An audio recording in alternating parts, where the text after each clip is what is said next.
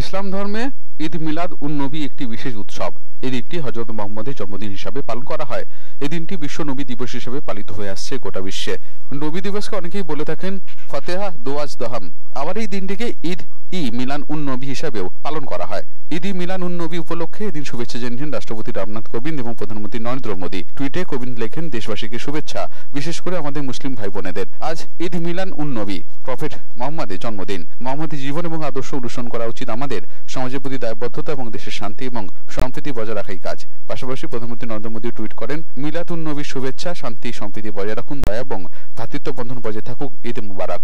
ভারতবর্ষ জুড়ে আজ ঈদ মিলাদ পালিত হচ্ছে। সোমবার থেকে শুরু হয়ে মঙ্গলবার সন্ধ্যে পর্যন্ত নবী দিবসের সময়সীমা। আরবি ভাষার ফতেহা শব্দের অর্থ মোনাজাত, দোয়া বা প্রার্থনা।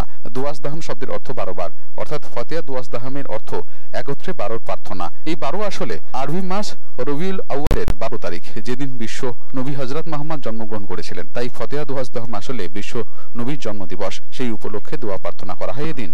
এদিন নবী দিবস উপলক্ষে তেতাল্লিশ নম্বর ওয়ার্ডের প্রাক্তন পৌর সমন্বয়ক একলাক আহমেদের উদ্যোগে প্রায় দেড় হাজার জন মানুষের হাতে তুলে দেওয়া হলো খাবার করোনা সময়ে এলাকার প্রান্তিক মানুষের পাশে দাঁড়াতে তাদের এহান উদ্যোগ বলে জানালেন একলাক আহমেদ এদিনের এই কর্মসূচি উপলক্ষে উপস্থিত ছিলেন তেতাল্লিশ নম্বর ওয়ার্ডের পৌর সমন্বয়ক সাগুতা পারভিন পারভেজ ইকবাল মোহাম্মদ বদরে আলম মোহাম্মদ আবদুল্লাহ খান মোহাম্মদ জাহাঙ্গীর খান পবন শর্মা সহ অন্যান্য বহু বিশিষ্ট জনেরা का प्रोग्राम किया जा रहा है ये हमारे भाई एक लाख भाई के क्या किया बहुत बहुत शुक्रिया आज सल्लम का पैदाइश भी वफात भी है तो यही पैगाम ये था लोग, आज हम सब मुसलमान है तो मुसलमान भाईचारे ही देखा है। सबसे मिल के करें, नमाज़ पढ़े, कुरान पढ़े। यही बोलकर तीसरा साल उनका दुनिया में रहा।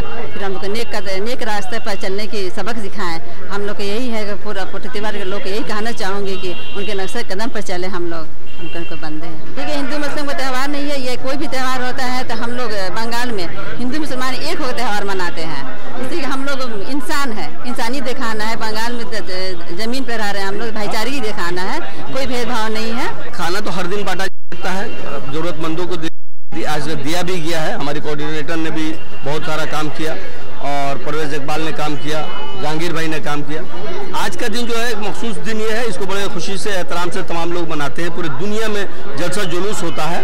लेकिन हम लोगों को सही माने में आप सल्लल्लाहु अलैहि वसल्लम की ज़िंदगी पर, जो उनकी ज़िंदगी है, उस पर हम लोगों को उनसे सीखना चाहिए, उनका उनका बात, उनका उनका तरीका, उनका बैठना, उनका मिलना, उनका जुलना, ये तमाम चीज़ें हम लोगों को सीखना चाहिए। आपने कहा कि यहाँ हिंदू साथी भी हमारे हुए थे। मैं पूजा ताराचंद का उस पूजा कमेटी का एक हूँ। हम लोग जाते हैं ओपनिंग करते हैं। आज इस जलसे में हमारे दो दो साथी, विक्रांत सिंह और पवन शर्मा, ये तमाम लोग आए और ये प्रोग्राम को हम लोग, तमाम लोगों ने मिल करके ऑर्गेनाइज किया। और कोई मखसूस दिन नहीं है हम लोगों को अपने अखलाक में अपने बर्ताव अपने बात में अपने तौर तरीके में हम लोग को बदलाव लाना चाहिए।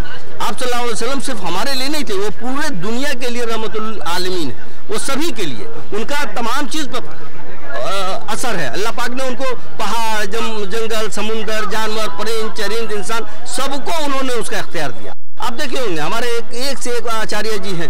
इतनी बड़ी बड़ी बातें इतनी मालूम है कि एज ए मुस्लिम हम लोगों को क्या हमारे अच्छे अच्छे लोगों को नहीं मालूम है जितनी मालूम और जितना एहतराम वो लोग आप सल्लल्लाहु वसल्लम का वो लोग करते हैं और बयान करते हैं। ऐसा नहीं कि करते नहीं है बयान करते हैं अमल करते हैं उस बातों पर बताते हैं लोगों को। तो हम लोगों को भी इसी बात पर अमल करना चाहिए कि हम लोग का गुफ्तगु अपने पड़ोसी का अपने मुल्क का अपने भाइयों का हर का ख्याल रखना चाहिए।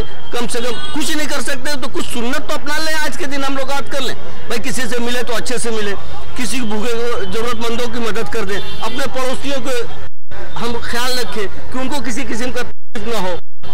अपने में हम नर, नरमी रखें। हम जो दूसरे को माफ़ करना सीखें। हम नमाज़ पढ़ें। हम कुरान की तिलावत करें, हम सदका दें। ये तमाम चीज़ें, एक छोटी छोटी चीज़ें हैं। इन तमाम चीज़ों को हम लोग को अपना लेने से इसमें भलाई है और पूरे हिंदुस्तान रिपोर्ट, चैनल टेन।